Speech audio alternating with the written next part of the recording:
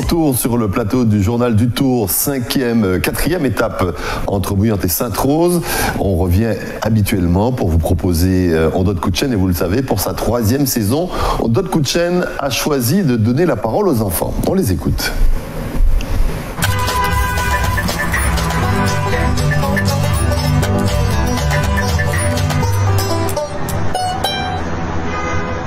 Alors lui, c'est sûr que c'est un supporter de l'USL. Comment il s'appelle?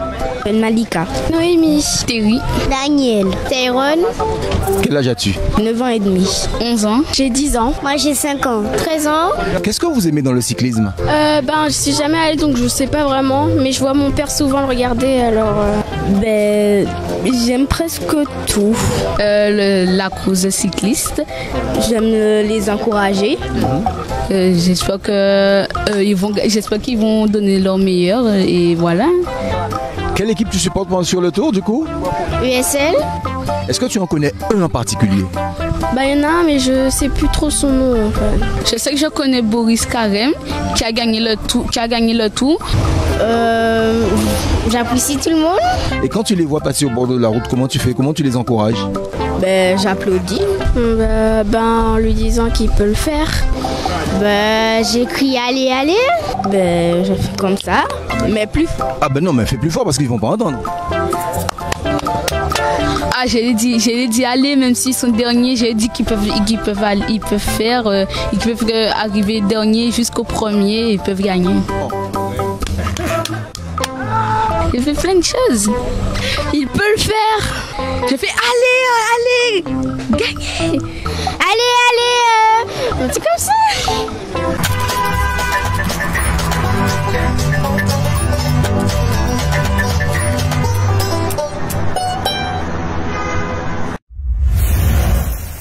Le coup de fraîcheur de ce 69e tour cycliste de Guadeloupe et débusqué Ronnie Véral et Danick euh, Narcisse, vous aurez des cadeaux, je vous l'ai dit, à la fin de, de ce tour euh, pour d'autres coups de chaîne et donc dire comment vous supportez vos coureurs. Enfin, c'est bien parce qu'ils sont sportifs, ils ont peut-être un coureur préféré, mais tout le monde.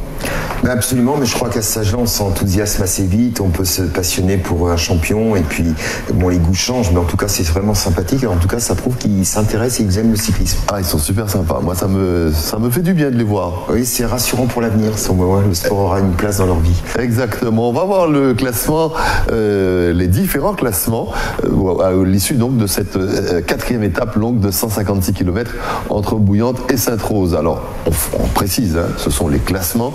Les porteurs de maillot, c'est autre chose. On les verra un peu plus tard. Voilà, donc le maillot jaune, on l'a déjà vu, mais on le rappelle, Adrien Guillonnet du team Interpro est donc en jaune. Il précède donc Miguel Alvarez donc du team Intera et troisième Vadim Pronsky donc du team Vino Astana. Du côté du maillot à poids, eh bien c'est Jonathan Salinas de l'USL donc qui en est le solide leader. Adrien Guillonnet du team Interpro est deuxième. Edwin Sanchez Anzola lui aussi engrangé des points. Il est troisième, il est du CCD. Du côté du maillot blanc, donc le maillot du meilleur jeune, c'est Vadim Pronsky, toujours donc solide leader team Vino Astana devant Evgeny Federov, donc du même, de la même équipe. Et mine de rien, Mevin Jane s'installe à la troisième place. Il est de l'espoir du Sud.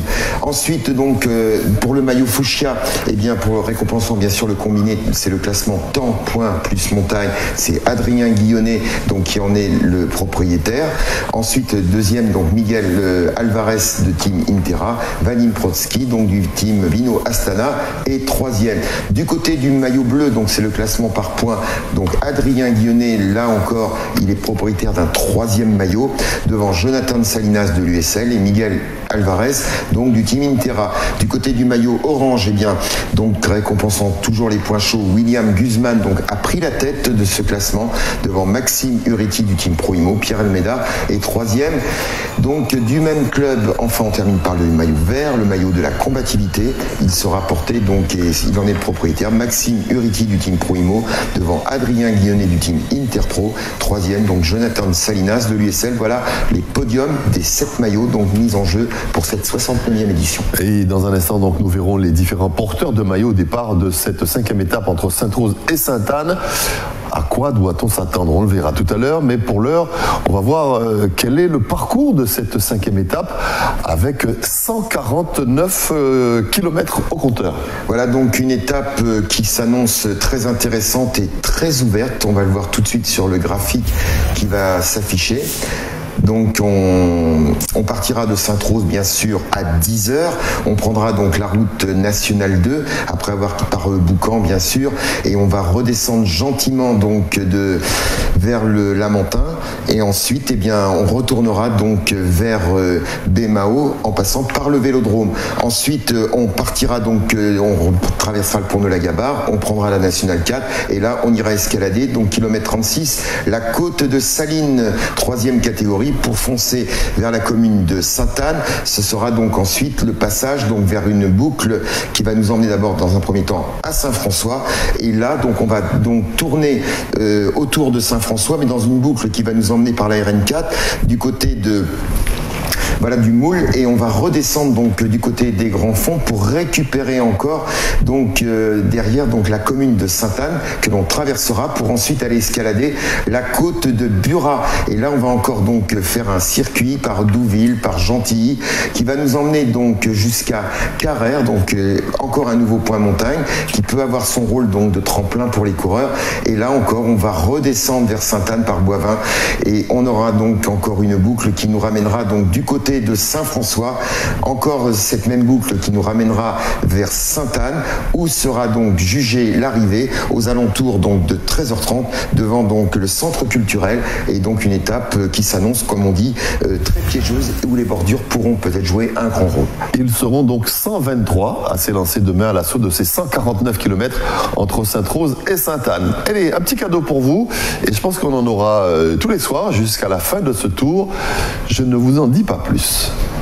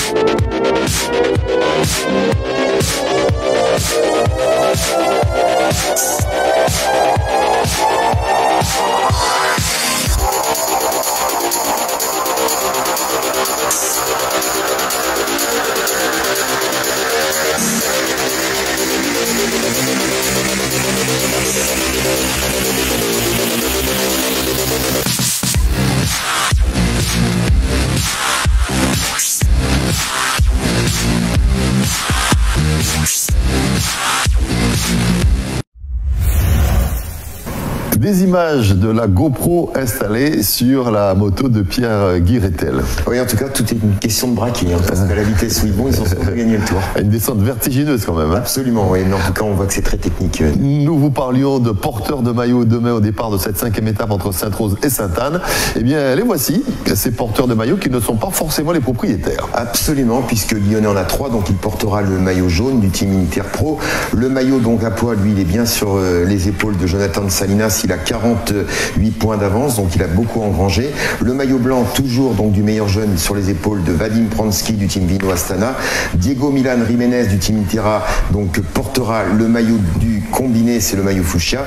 Le maillot bleu, donc récompensant le classement par points sur les épaules du Mexicain Miguel Alvarez donc du team Intera. Le maillot donc des points chauds sur les épaules de William Guzman du team Intera. Et, bon, pour terminer, Maxime Uretti du team Proimo portera le maillot vert, c'est le maillot de la combativité. Merci à vous tous, merci Marc. On se retrouve demain pour cette cinquième étape. À la même heure et sans doute avec un beau vainqueur. On espère qu'il sera donc Guadeloupéen. Attention, étape piège, étape qui peut réserver quelques surprises. Ouais, pas forcément une étape de transition.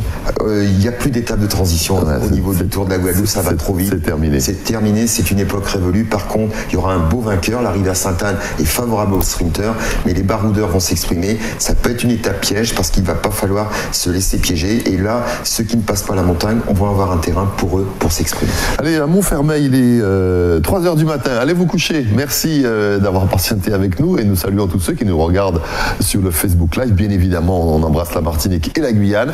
Vous aussi en Guadeloupe également, bah, sur l'archipel euh, guadeloupéen. On vous embrasse. On vous souhaite une très très belle soirée sur notre antenne. À très vite demain pour la cinquième étape. À demain.